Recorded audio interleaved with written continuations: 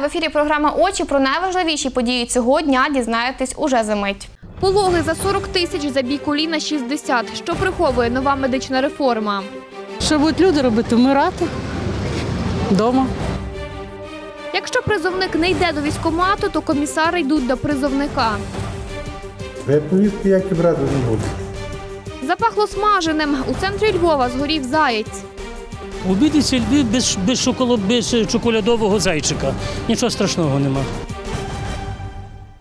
Пацієнти в очікуванні уже за два місяці в Україні розпочне діяти медична реформа. Тож людей уже зараз закликають приглядатися до сімейних лікарів, з якими вже з нового року вони повинні підписати договір. Натомість у столиці фахівці формують прейскурант медичних послуг, за якими держава повинна відшкодовувати витрати лікарням за новою системою фінансування. Та усе б нічого, якщо б за попередніми обрахунками звичайна операція з видалення апендикса не коштувала 38 тисяч гривень. Тож чи вистачить на це бюджетних коштів і чи не доведеться українцям платити за кожну маніпуляцію далі? Підбій курантів і дзвін келихів із шампанським українці відзначатимуть не лише початок нового 2018 року, а й старт медичної реформи в країні. Цього разу не на словах, а на діях. Із 1 січня люди зможуть самостійно обирати собі сімейного лікаря у будь-якій амбулаторії, незалежно від місця реєстрації. Потрібно лише підписати договір із новообраним фахівцем. Натомість медик за кожного пацієнта отримуватиме гроші від держави. Якщо ти є спеціаліст, якщо люди до тебе йдуть, відповідно ти маєш місце роботи, відповідно ти маєш зарплату. Якщо ти є такий, що тебе не обирають пацієнти, ти лишаєшся фактично без роботи.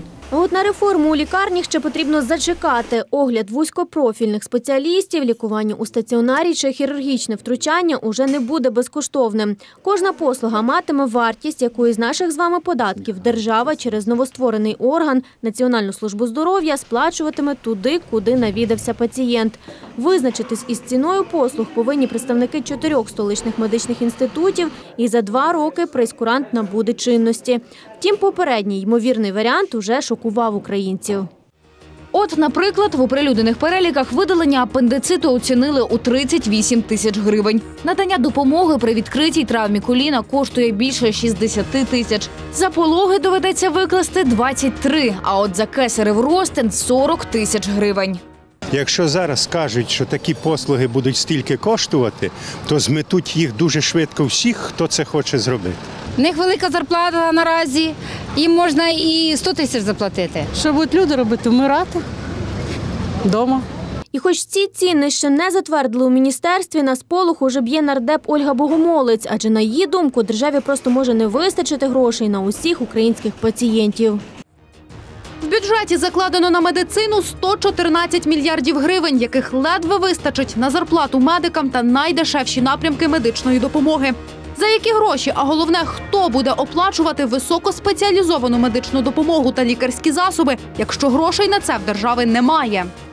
Щоб українці не залишилися із хворобою сам на сам, широко у планах урядовців визначати, за що зможуть заплатити, а за що ні. Тож законотворці можуть знову повернутись до ідеї з синім пакетом послуг, а це ті, які співфінансують держава і пацієнт. У нас вже було до сьогодні все безкоштовно. І що, вистачало? Ні. Тому мені здається, що синій пакет, я думаю, питання до- до цього питання ще повернуться, тому що е, співоплата сьогодні в лікарнях є. Люди купують, люди платять, люди роздають е, гонорари, там подяки, т.д. і т.п. Давайте до всього законім якусь частку цих грошей запустимо е, через касу і установа е, тут же легше дихне. Бо сам бюджет не витягне 100%, 100% забезпечень. Медики певні, врятувати ситуацію можна, якщо паралельно запровадити ще й систему обов'язкового медичного страхування. навіть введення самої, можливо, недолугої, там недосконалої страхових механізмів, він дасть змогу взагалі оці всі ризики непокриття е, державою знівелювати. Втім, те, що за кордоном уже стало нормою, в Україні лише у планах. Наразі страхування добровільне. Послуги надають лише приватні фірми, а поліси здебільшого оформляють компанії для своїх працівників. Це так зване корпоративне страхування. Потурбуватись лише за своє здоров'я в рази дорожче. Щодо індивідуального страхування, загалом в Україні зараз досить малий відсоток. Тобто в середньому це до 2% а українців мають поліс добровільне медичне медичне страхування. Якщо ми говоримо про корпоративне страхування, тут же відсоток більший. Він є на порядок, становить до 6%. Індивідуальна, яка діє, ну ще раз кажу, нашій компанії немає, але в середньому в компаніях, які зараз пропонують на ринку, воно вже стартує від 7 тисяч гривень в рік. Страховики розповідають, така ж система діє і у Польщі, у Великобританії та Америці. Первинна медицина безкоштовна. За усе решту платить або ж страхова, і це гарантовано, або ж пацієнт. Христина Влучанська, Павло Замрій, програма Очі.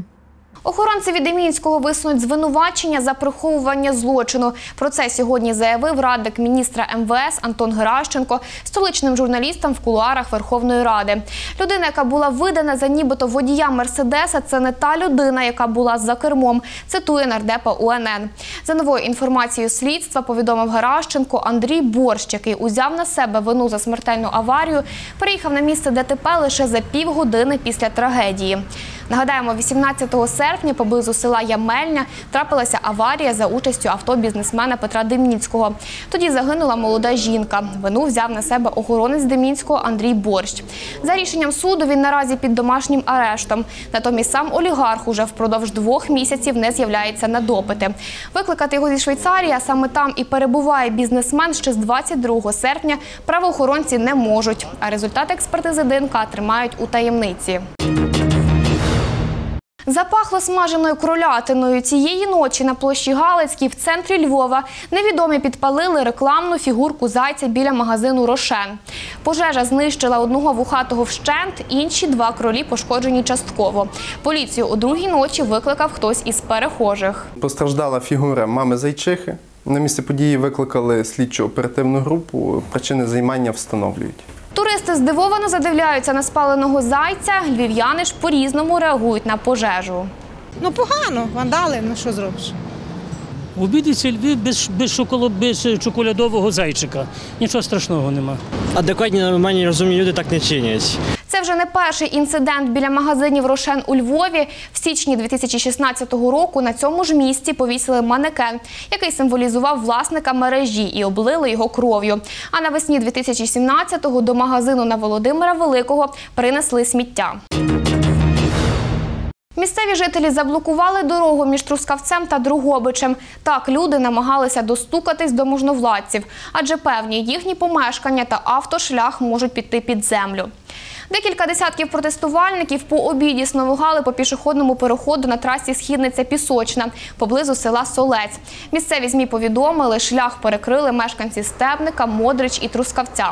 Активісти заявили, хочуть привернути увагу до небезпеки карстових проваль, що з'явились біля курортного містечка. Нагадаємо, у Стебнику на території гірничого відводу рудника підприємства Полімінерал стався обвал породи.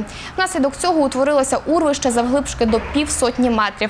Опісля обвалу затріщала по швах дорога Другобич-Трускавець. А днями виникла нова яма в руслі річки Вишниця. Наразі потік скеровують в трубу. На місці події працювали і наші журналісти. Чи варто непокоїтися довколишнім жителям? Та чи є план убезпечення ділянки? Дивіться у випуску програми Очі завтра. Вечірнє полювання на призовників. Учора ввечері комісари обрали стандартний метод. Шукали хлопців за місцем проживання, а не у нічних клубах, як це відбувалося вихідними. Нагадаємо, в провулку Крива Липа в ніч з п'ятниці на суботу 12 юнакам вручили повістки.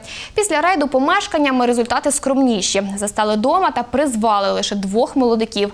Загалом в області план стосовно призову виконаний лише на 60%. Якщо призовник не йде до військкомату, то комісари йдуть до призовника. Від початку вересня військові навідуються до молодиків додому. Відкрийте, будь ласка, двері. Це воєнкомат Галицько-Франківський. Хотіли поговорити.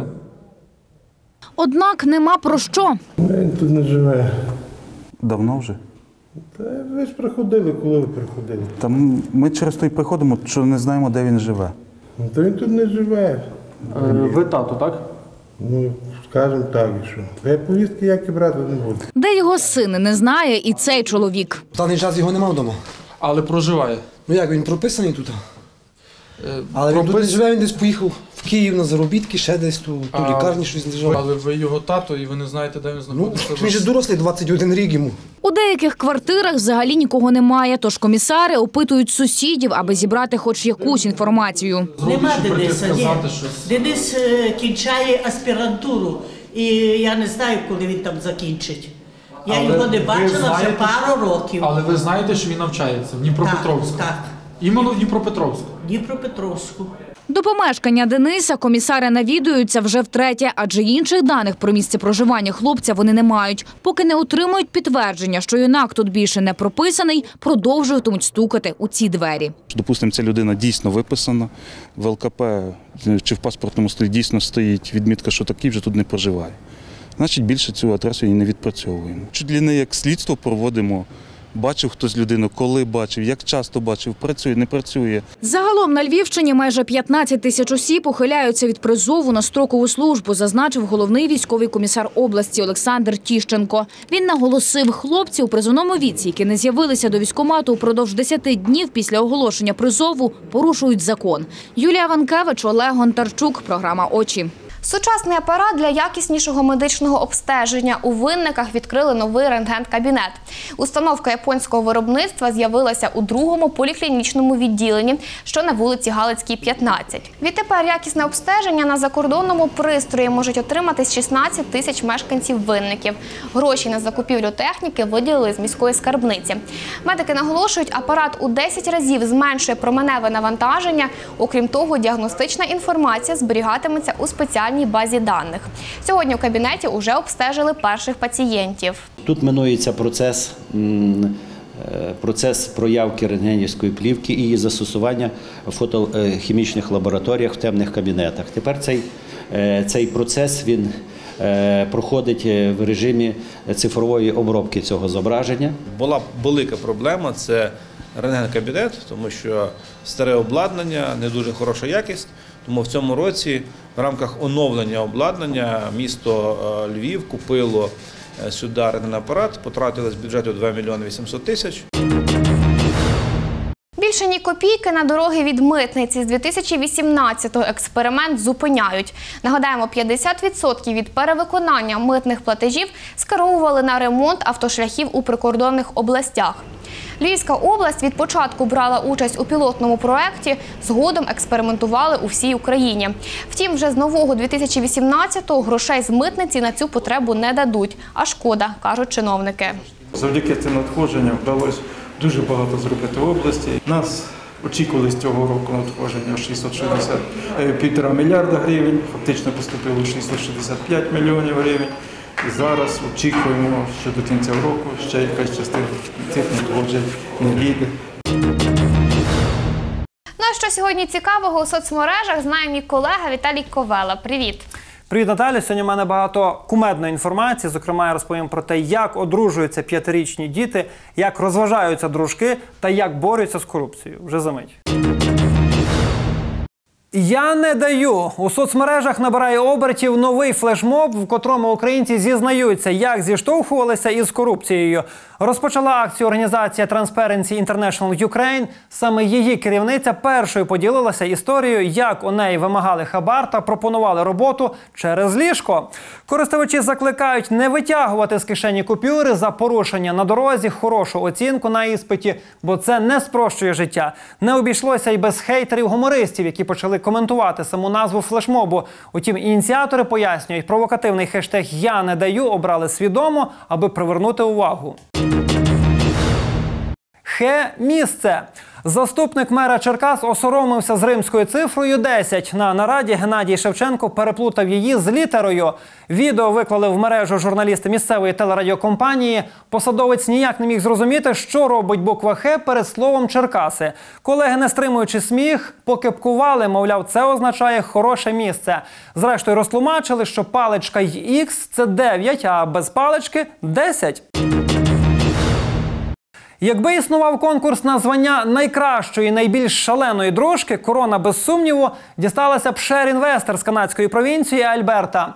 Дівчина по-справжньому відірвалася на весільній фотосесії своєї подруги дитинства. Фотограф просто попросила її підкинути фото. Але Шерін вирішила додати креативу та так, що аж затьмарила на знимках наречену.